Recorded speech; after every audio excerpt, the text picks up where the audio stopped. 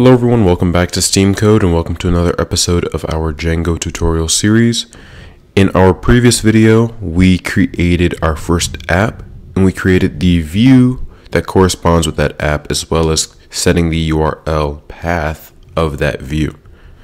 So the, in the previous video, the view that we sent back was a simple HTTP text response, but in this video, we'll create an HTML file and send that as our HTTP response.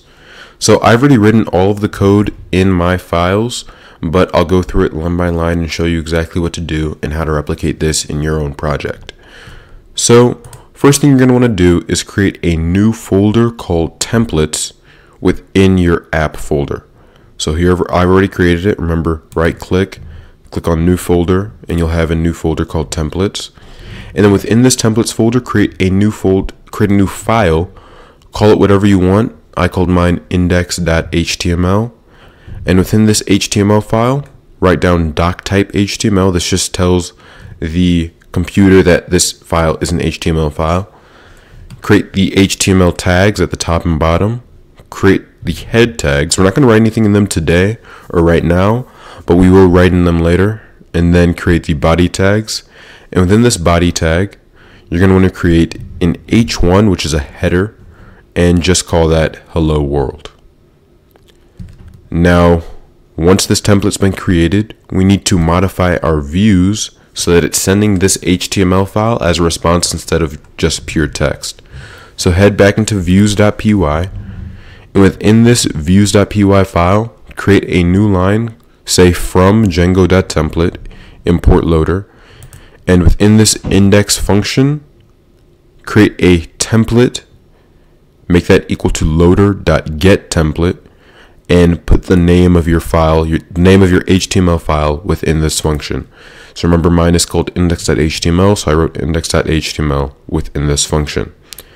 And then you return an HTTP response of template.render.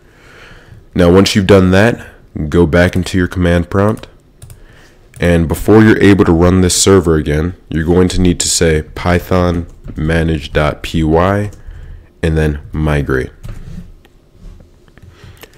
And I, I, mine says no migrations to apply because I already migrated, but yours will perform the necessary migrations and then you can run the Python server. So say python manage.py, run server at whatever port you want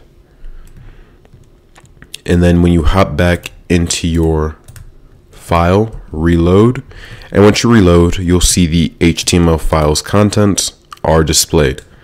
Now, if we hop back into our HTML file, we're able we're going to be able to modify it, and you'll see the modifications happen in real time. So I can say h2 my name is Steam Code. Save it reload the page, and you can see it says my name is Steam Code. So all you need to do is save the file and the HTML is automatically updated. Let's change the title of this page. So within your head tags, create a title tag. Let's just say it my test site. Reload again and you can see the title of this page is changed to my test site.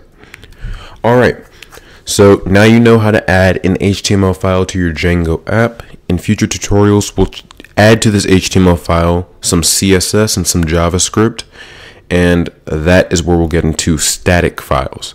But as always, if you have any questions, leave them in the comment section down below. Thanks for watching. I'll see you in the next one.